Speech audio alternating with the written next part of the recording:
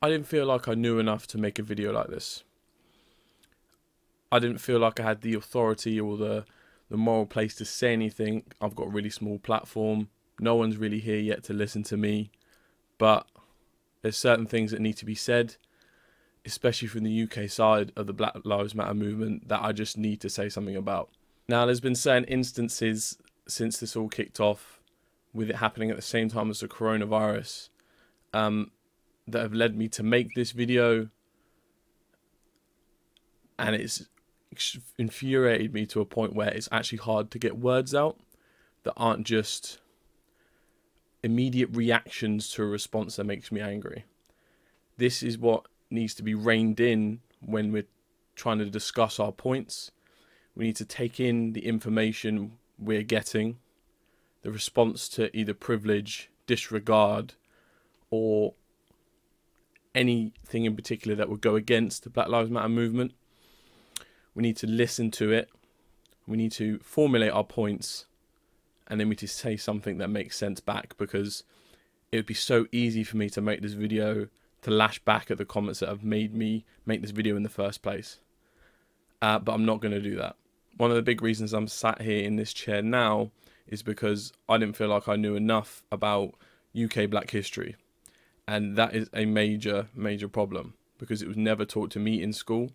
Uh, all we got was Black History Month, we have that singular month where we learn about individual character profiles like Martin Luther King and Rosa Parks, who are amazing for the civil rights movement, but that doesn't tell anything about the UK side of the story. Uh, it isolates them to certain caricatures of only separate people where we do not see the overall collective thoughts, feelings, and history of black people going back as far as you can think. So I want to use this video for a couple of things. One, to educate a little bit more on a couple of things that stand out from UK black history and just bring to the surface a few points that it doesn't make sense in 2020 that I still have to research certain places in Europe where I can go and it will be safe. Places in Italy, Russia, whichever, especially as a mixed a mixed individual. If I went to certain parts of Russia, I could be considered even worse than a black person and it's it's not about what shade you are anymore. We are all lumped in together.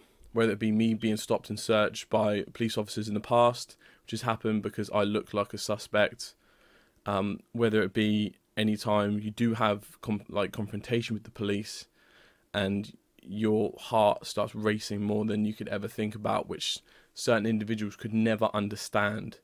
Um, whether it be security guards following you round shops because they just suspect you naturally, or little old ladies that look at you and they get frightened for no apparent reason, whether it be because of what you're wearing or just your general stature and that, that fear that the media has produced around black men and black women.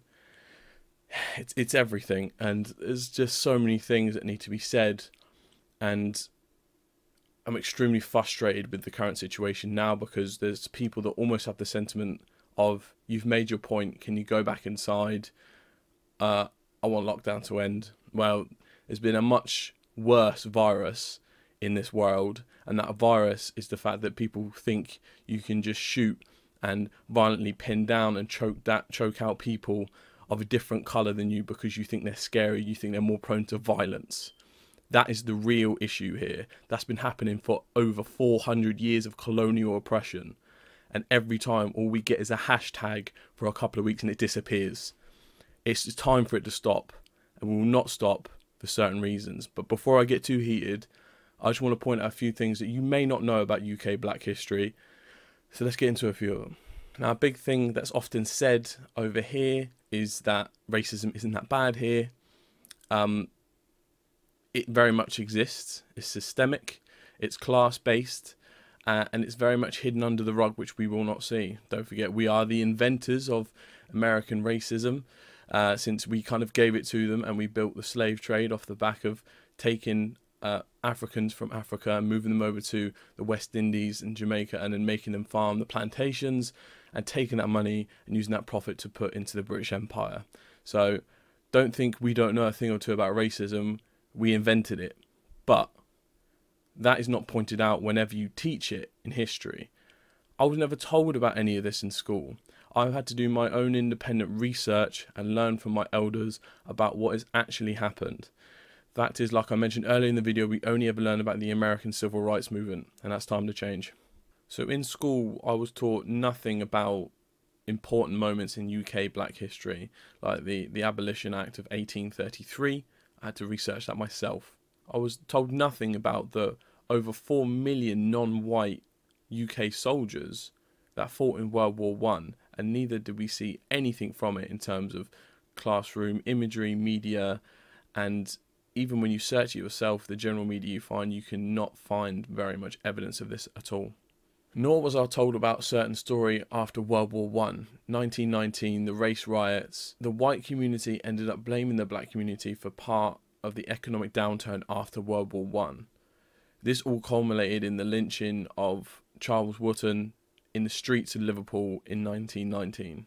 Before that even happened and before he was lynched, the white community across the UK decided to push back, and it ended up meaning that black individuals were being fired from their jobs and whites were refused to work alongside them, and this was just in 1919. This is not long ago.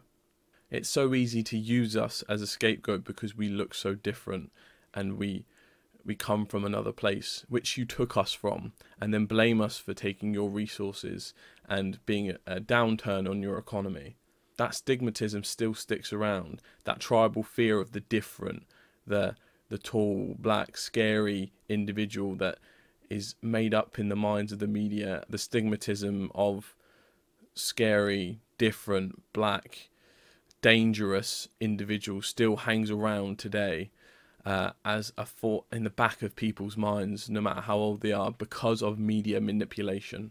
But as you know, the winners of history get to write history, so you wouldn't know much of this. This information would be suppressed.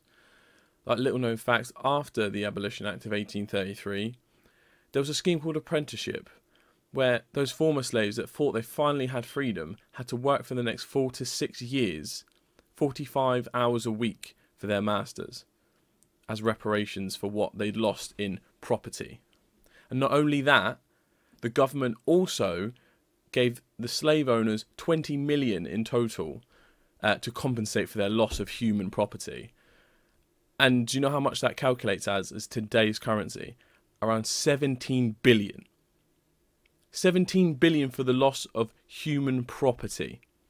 In the UK, they've done a brilliant job of blinding us to the real narrative they've got this idea that the UK is so far ahead of the curve and that we've completely eradicated slavery and racism.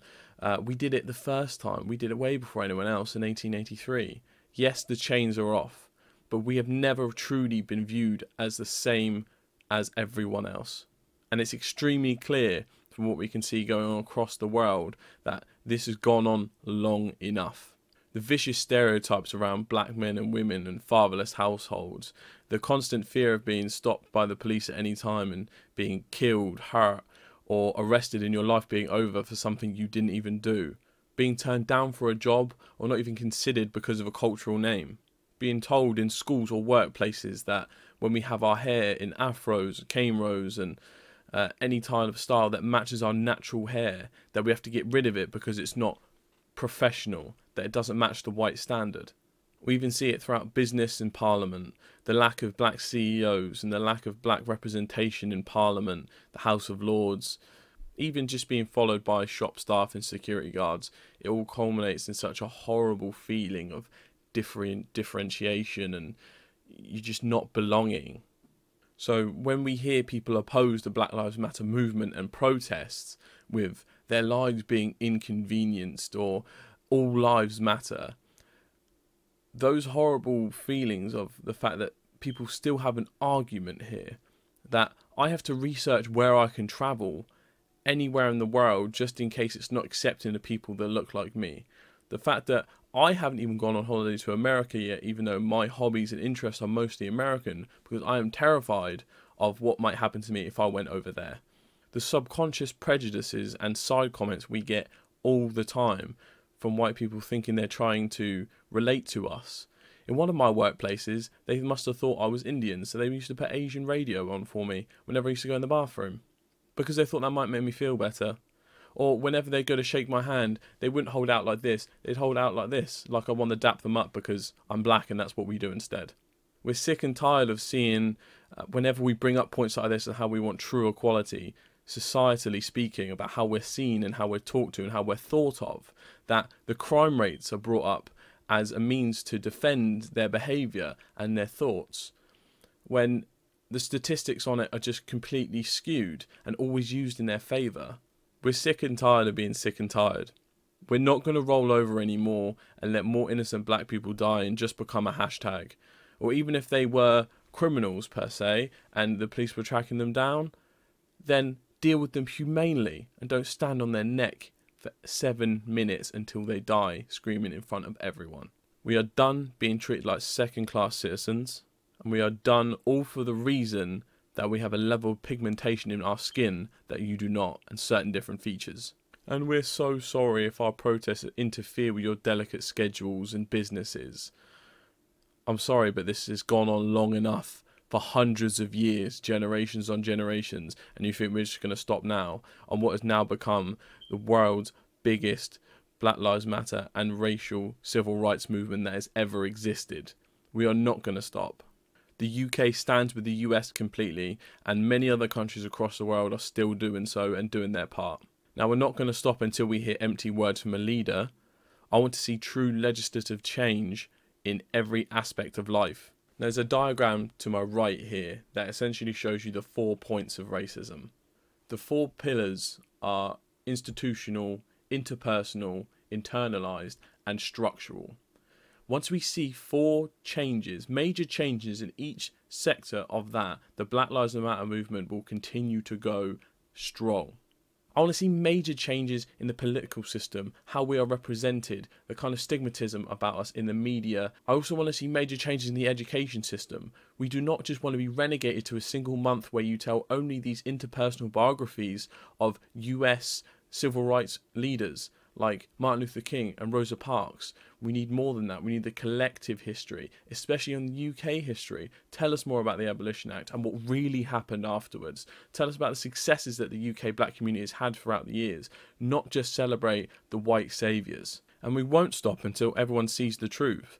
When everyone's not blinded by their own privilege and think that this is just an inconvenience and that nothing will change via protests. Every civil right movement starts via protest and will continue to until real change is made and we are heard. We are one human race, and it's about time we started to remove the stigmatisms and general stereotypes attached to colours and creeds across the world. Obviously, I feel very passionate about this, but I also understand that from my perspective, my mum's white and my dad is black. So I know racism is not built in you're not born racist. I mean, the stories my dad used to tell me from growing up in the 80s is ridiculous. The fact that if I was around, from a mixed person's perspective, I might not be taken by either the white or black side and just renegated by myself because I'm different. People with those ideologies, stigmatisms, are still around. They think we are more prone to violence. They think we are only good at rapping and basketball. They are everywhere. Personally, I'm sick of being the only black guy or person of colour in my office wherever I go. I'm one of one or only other one throughout my whole two to three year career in marketing. So that's why I implore everyone, like I've gone on my own personal education journey, I'd love for you to as well. What I've done is, is I've linked lots of really informative videos uh, from everyone from The Guardian to Akala and really good books to help educate on UK black history and black history at large. But I want to say thank you for everyone sticking around. If you made it to the end, I really appreciate it. I know this is a bit more of a rant video. I'm not going to put any branding on this or anything like that. This is purely just to put my thoughts out there and hope the small platform I've developed can go that little bit further and help out to developing the Black Lives Matter movement. Now, thank you all for watching, and I'll see you in the next one.